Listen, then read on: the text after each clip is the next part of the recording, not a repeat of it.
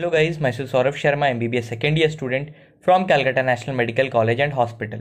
तो जैसे कि थंबनेल आपने देखा कि क्या आप भी क्या ये 200 से 500 के लाइन में हो क्या? देखो ये बहुत बड़ा लाइन होता है ये 200 से 500 का स्कोर का। किसकी बात कर रहा हूँ? जो नीट के लिए जो आप लोग टेस्ट सीरीज़ दे रहे हो वो वाली बात कर रहा हूँ। 720 में अगर कोई बच्चा 200 से 500 के रेंज में है मैं इसमें बड़ा रेंज कवर किया हूँ। और सबके लिए मैं अलग अलग किया हूँ कि लाइक अगर कोई स्कोर कर रहा है तीन सौ से कम इससे कम सब में मैं डिस्कस करूँगा तो चलो यार वीडियो स्टार्ट करते हैं। सो so, सबसे पहला सवाल आता है इम्प्रूव कैसे करें?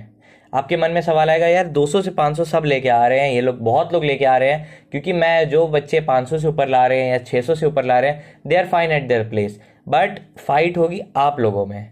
ये जो 200 से 500 वाला गेम है ना इसमें होने वाली है फाइट तो इम्प्रूव कैसे किया जाए कि यार बोलते हैं ना कि फाइट करके मेरे को आगे बढ़ना है। वो कैसे किया जाए वो सीखेंगे हम लोग इस वीडियो में।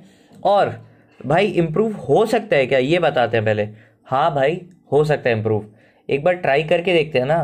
ट्राई करके देखते हैं। अरे भाई अभी अगर 200 से 500 आ रहा है अगर ट्राई नहीं करोगे तो क्या फ़ायदा? वहीं उस सिचुएशन में रह जाओगे। सो so, उसके लिए चलिए हम लोग एनालाइज करते हैं।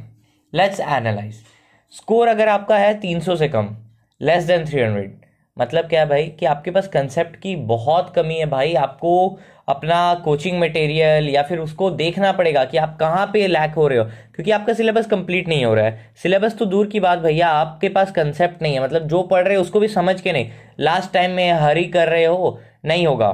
स्कोर 300 से कम है भाई very very very less chances of selection अगर अभी नहीं सुधरे तो देर हो जाएगी। अभी नहीं सुधरे तो देर हो जाएगी। ओके, अब मैं बात करता हूँ 300 से 400 वाले। आपकी प्रॉब्लम क्या हो रही है? 300 से 400 वाले। आपका सिलेबस इनकम्प्लीट रह जा रहा है। लाइक बोलते हैं ना कि 60 परसेंट किया 40 परसेंट रह गया। अब उस 60 परसेंट को भी बढ़िया से तो नहीं हो पाता है। कुछ कमी रह जाती है। तो स्कोर आता है आपका अराउंड 300 से 400 समझ आ रहा है? अब मैं बात करता हूँ, अगर आपका स्कोर है 400 से 500 के बीच में मतलब कहीं ना कहीं माइनर एरर रह जा रहा है यार। नहीं तो आप आराम से 560 580 पहुँच सकते थे। वो माइनर एरर को दूर करेंगे हम लोग। देखते हैं, चलिए। अब हम करते हैं बात एकदम झटझट से। देखिए, अगर आपका जो स्कोर है, उसके हिसाब से वीडियो को आप आगे पीछे कर लीजिएगा। मैं बात करने वाला हूँ हाउ टू ओवरकम अगर आपका स्कोर है 300 से कम तो आप क्या कर सकते हो? आपका 400 से कम है तो क्या कर सकते हो? 500 से कम है तो क्या कर सकते हो? चलिए, पहले स्टार्ट करते हैं बिलो 300 ओके तो आपकी कमी क्या होती है भाई? कि आपका तो कंसेप्ट नील है तो कंसेप्ट को ठीक करना पड़ेगा। कंसेप्ट अब आप बोलोगे, भैया, एक हफ़्ते बाद एग्ज़ाम है, मैं पूरा नहीं कर पाऊँगा सिलेबस आप ये बोल सकते हो। आप एक काम करो ना एटलीस्ट सेवेंटी परसेंट करके जाओ सिलेबस सेवेंटी परसेंट नहीं तो सिक्सटी परसेंट करके जाओ। आप ट्राई करो इसको सेवेंटी फाइव बनाने की। कितनी? सेवेंटी फाइव नहीं हो सके तो एटलीस्ट सेवेंटी परसेंट पे स्टिक रहो आपका टारगेट क्या होना चाहिए? नेक्स्ट टारगेट होना चाहिए, भैया, साढ़े चार सौ तक पहुँचना है। अभी मत सोचो कि, भैया, मेरे को टॉप रैंकर पे आना है इंस्टीट्यूट का नहीं। पहले आप सोचो कि साढ़े चार सौ कैसे पहुंचोगे। एक एक करके स्टेप चलोगे ना, तब होगा। जैसे कोगुलेशन पाथवे भी कैस्केड में होता है, एक बार में थोड़ी होता है। तो सेम कहानी आपके लिए भी। कैस्केड में चलो ना, पहले साढ़े चार सौ आने दो, फिर उस साढ़े चार सौ को पकड़ो, उस साढ़े चार सौ के बाद फिर स्कोर को बढ़ाओ, ऐसे करो। ऐसे नहीं कि भैया एक बार में छः सौ पहुँचना है कोई जादुई छड़ी नहीं है जो घुमाएँगे साढ़े चार सौ आ जाएगी। नहीं, ऐसा नहीं होने वाला है।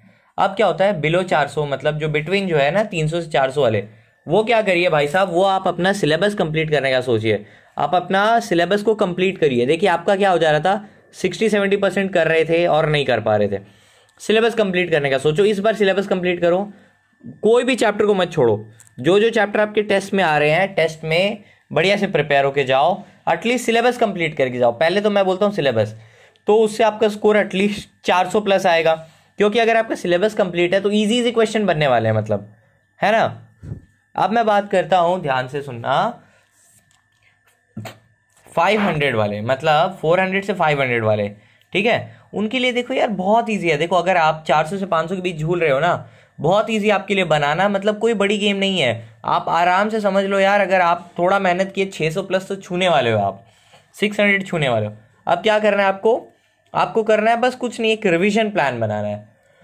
हर एक काम करना वीकली रिविजन मैं सिखाया हूँ मेरे बहुत सारे वीडियोस में कि वीकली रिविजन कैसे होता है, उसके बाद उसको मंथली में कन्वर्ट कैसे करते हैं।